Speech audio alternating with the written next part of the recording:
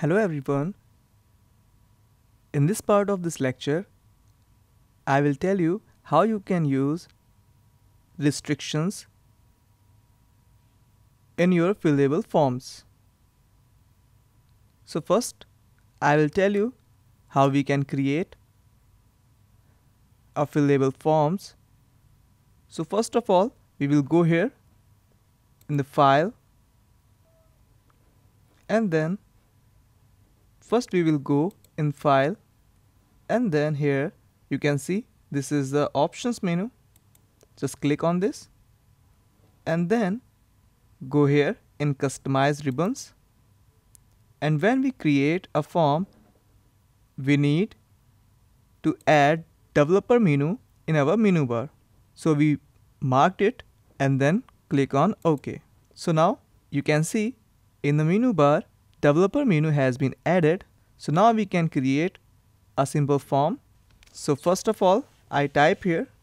So first of all I type here first name and then give a space and I want to increment the size of this font with 14 and after this and after this I want to add here a content holder so that any user can so to add here a content holder just go repeat just go in developer tool and then you can see here this is the control panel of this menu and you can see here this is rex repeat this is repeat this is rich text con repeat this is rich text content control and this is plain text content control.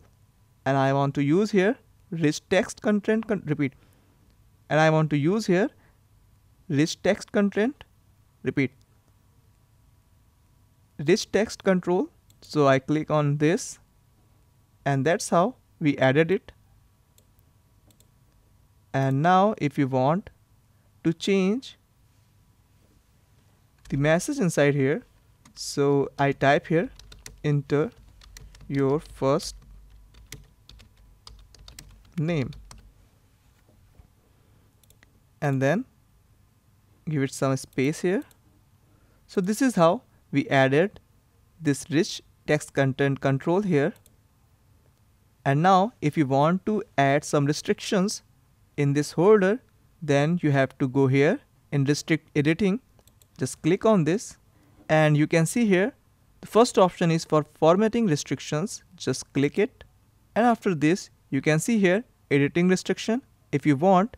And if you don't want any editing restrictions then you can go here and click on yes start enforcing protection after this you have to add a password here like I am entering here a simple password and then click on OK. So this is how we added this and if you want to stop this protection then you can click here so that this restrictions will be removed from this form. So this is how we can add restrictions in our form. So as you can see this is our design mode. And if you go out from this repeat and if you want to go out from this design mode just unselect it. And then you can see how we created this form. So now you can save this form. So just go here in file. And then you can click on save. And then I want to save it here in Word. Just select it. And then after this I can write the name of my form and press enter. So this is how we saved our page and I hope you learn how you can add restriction in your form. So now I'm going to end this video. Thank you.